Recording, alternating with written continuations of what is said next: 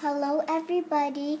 I'm going to just share with you a gift my mom made for a friend. She made this little paper purse to store this little mini album.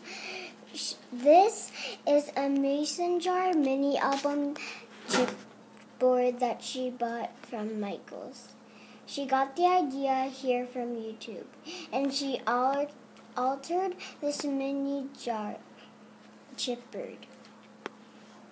She used K and Company paper to cover this chipboard. This and the little flowers are from Michaels. This is a little flower that my mom made and then she put a little uh, decoration in there.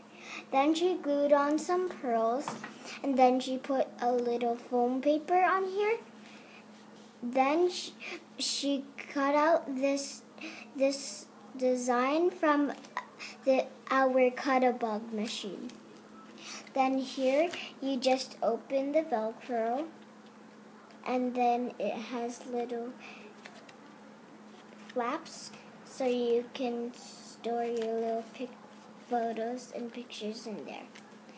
Then here we have this little flower and uh, felt and this 3D heart, and again from the Cuttlebug machine.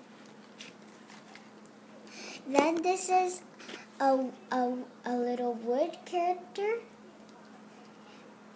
and and then there's the four little cards here, so you can store your little pictures in here.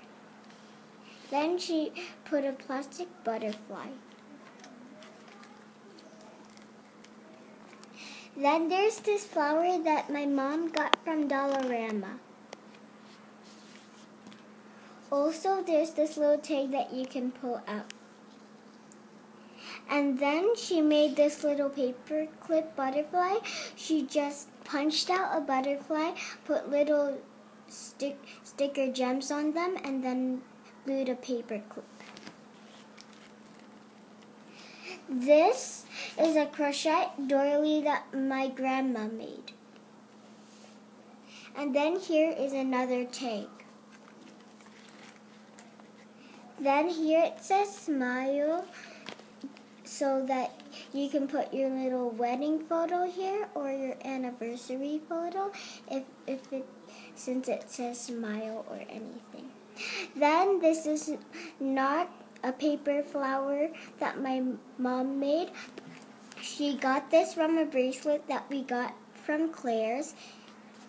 And then there's this little butterfly that my mom collected. Then the, out here, she has this little sh shell that was supposed to be a bead. And then she put little decorations. And then she put her label on here so you know that she made made it. Thanks for watching and bye-bye.